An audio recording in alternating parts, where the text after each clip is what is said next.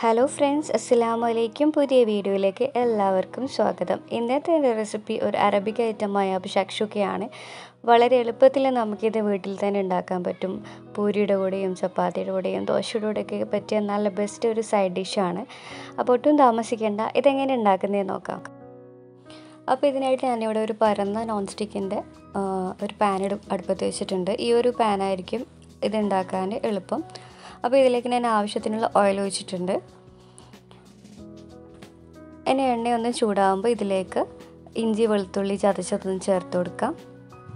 എന്നിട്ട് നന്നായിട്ട് ഇതൊന്ന് വാട്ടിയെടുക്കാം.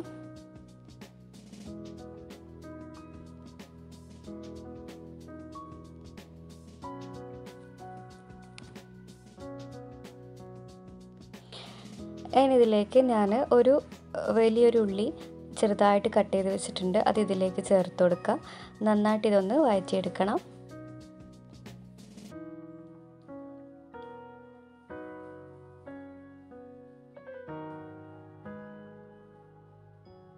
ഇനി ഇതിലേക്ക് ഞാൻ ഒരു ക്യാപ്സിക്കം ഇതേപോലെ ഒന്ന് ചെറുതായിട്ടൊന്ന് കട്ട് ചെയ്തിട്ടുണ്ട്. അതോട് ഇതിലേക്ക് ചേർത്ത് കൊടുക്കുക നന്നായിട്ട് മിക്സ് ചെയ്ത് കൊടുക്കുക ഉള്ളി ചെറുതായിട്ട് കട്ട് കട്ട് ചെയ്യുകയാണെങ്കിൽ പെട്ടെന്ന് തന്നെ വയന്ന് കിട്ടും. ഇനി ഇതിലേക്ക് നമുക്ക് പൊടികൾ ആഡ് ചെയ്ത് കൊടുക്കുക. അപ്പോൾ ഞാനിവിടെ രണ്ട് ടേബിൾ സ്പൂൺ കാശ്മീരി ചില്ലിയാണ് ചേർക്കുന്നത്. സാധാരണ മുളക് പൊടിയാണെങ്കിൽ ഒരു ടേബിൾ സ്പൂൺ ചേർത്താൽ മതി. ഇനി ഇതിലേക്ക് ഞാനൊരു അര ടീസ്പൂണ് ജീരകം പൊടിച്ചത് ചേർക്കുന്നുണ്ട്. പിന്നെ ഒരു അര ടീസ്പൂണോളം കുരുമുളകും കൂടി ചേർത്ത് കൊടുക്കുക. നന്നായിട്ട് ഇതൊന്ന് മിക്സ് ചെയ്തെടുക്കുക അപ്പോൾ ഇത്രയും പൊടികൾ മാത്രമേ ചേർക്കുന്നുള്ളൂ. നന്നായിട്ട് ഇതൊന്ന് യോജിപ്പിച്ചെടുക്കണം.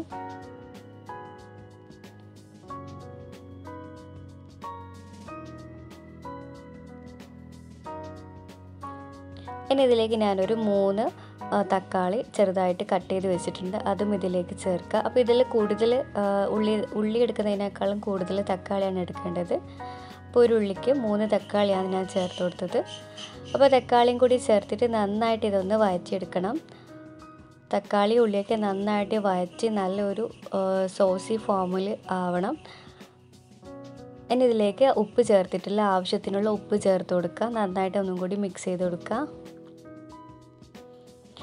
ഇനി ഇതിലേക്ക് ടൊമാറ്റോ സോസ് ചേർത്ത് കൊടുക്കുക. ഏകദേശം ഒരു രണ്ട് ടേബിൾ സ്പൂണോളം ടൊമാറ്റോ സോസ് ഞാൻ ചേർത്ത് കൊടുത്തിട്ടുണ്ട്.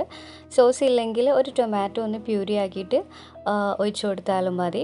എന്നിട്ട് നന്നായിട്ട് ഒന്ന് മിക്സ് ചെയ്ത് കൊടുക്കുക.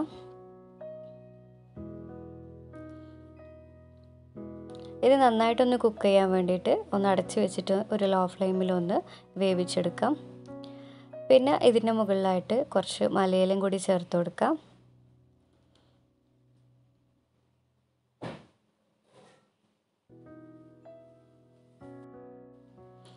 ഇനി ഇതൊന്ന് അടച്ച് വെച്ചിട്ട് ഒരു ലോ ഫ്ലെയിമിൽ ഒരു അഞ്ച് മിനിറ്റ് കൂടി ഒന്ന് അടുപ്പത്ത് വെക്കാം.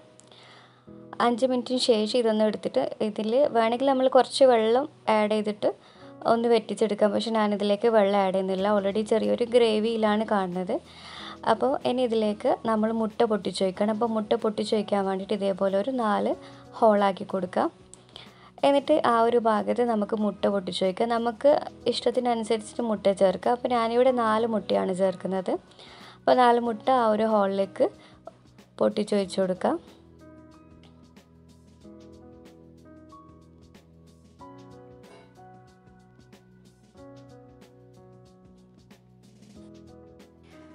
ഇനി മുട്ടയുടെ മുകളിലായിട്ട് ഒരല്പം ഉപ്പും പിന്നെ അതിന് മുകളിലായിട്ട് കുറച്ച് കുരുമുളക് പൊടിയും ചേർത്ത് കൊടുക്കാം. ഇനി ഇതൊന്ന് അടച്ച് വെച്ചിട്ട് ലോ ഫ്ലെയിമിലാക്കിയിട്ട് ഇതൊന്ന് കുക്ക് ചെയ്തെടുക്കണം. ആ മുട്ടയൊക്കെ ഒന്ന് സെറ്റാകാൻ വേണ്ടിയിട്ടാണ്. അപ്പോൾ ലോ ഫ്ലെയിം ആക്കണം. ഹൈ ഫ്ലെയിം കൂട്ടി വെച്ച് കഴിഞ്ഞാൽ അടിഭാഗം കരിഞ്ഞു പോവും. അതുകൊണ്ട് ലോ ഫ്ലെയിം ആക്കിയിട്ടൊന്ന് ഇതൊന്ന് വേവിച്ചെടുക്കാം. അപ്പോൾ മുട്ട കുറച്ചൊരു റെണ്ണി ആയിട്ടാണ് വേണമെങ്കിൽ പെട്ടെന്ന് എടുക്കാം. പക്ഷെ നന്നായിട്ട് സെറ്റായിട്ടാണ് വേണമെങ്കിൽ കുറച്ച് സമയം കൂടി അടുപ്പത്ത് വെക്കുക പക്ഷെ എന്റെത് ഇവിടെ നന്നായിട്ട് സെറ്റായി വന്നിട്ടുണ്ട് മുട്ടയുടെ മഞ്ഞയൊക്കെ. അപ്പോൾ ഇതിവിടെ റെഡി ആയിട്ടുണ്ട്. ഇത്രയേ ഉള്ളൂ. വളരെ എളുപ്പത്തിൽ നമുക്ക് ഈ ഒരു ഡിഷ് ഉണ്ടാക്കിയെടുക്കാം. നമുക്ക് വേണമെങ്കിൽ ഇങ്ങനെ തന്നെ ചൂടൊക്കെ ഒന്ന് ആറിക്കഴിഞ്ഞാൽ ഇതേപോലെ തന്നെ സെർവ് ചെയ്യാം. അല്ലെങ്കിൽ ഒരു പ്ലേറ്റിലേക്ക് ഇതേപോലെ ഒന്ന് മാറ്റി വെച്ചാൽ മതി. ദോശ ചപ്പാത്തി പൂരി കുബൂസിനൊക്കെ കൂടെ ബ്രെഡിനൊക്കെ കൂടിയുള്ള നല്ലൊരു ബെസ്റ്റ് സൈഡ് ഡിഷാണ് വളരെ സിമ്പിളായിട്ട് നമ്മൾ വീട്ടിലുള്ള ഇൻഗ്രീഡിയന്റ് വെച്ചിട്ട് തന്നെ ഉണ്ടാക്കാം. നമുക്ക് വേണമെങ്കിൽ ക്യാപ്സിക്കം ഒഴിവാക്കിയിട്ട് ഇത് ഉണ്ടാക്കാൻ പറ്റും. നല്ല ടേസ്റ്റ് തന്നെയാണ്. അപ്പോൾ നിങ്ങൾക്ക് ഈ ഒരു റെസിപ്പി ഇഷ്ടമായെന്ന് വിചാരിക്കുന്നു ഇഷ്ടമായെങ്കിൽ എന്തായാലും ലൈക്ക് ചെയ്യുക കമന്റ് ചെയ്യുക. പിന്നെ എന്റെ ഈ ഒരു ചെറിയൊരു ചാനൽ സബ്സ്ക്രൈബ് ചെയ്തൊന്ന് സപ്പോർട്ട് ചെയ്യണേ. അപ്പോൾ ഇൻഷാല്ല വീണ്ടും മറ്റൊരു റെസിപ്പി ആയിട്ട് വരാം. അതുവരേക്കും അസ്സലാമു അലൈക്കും.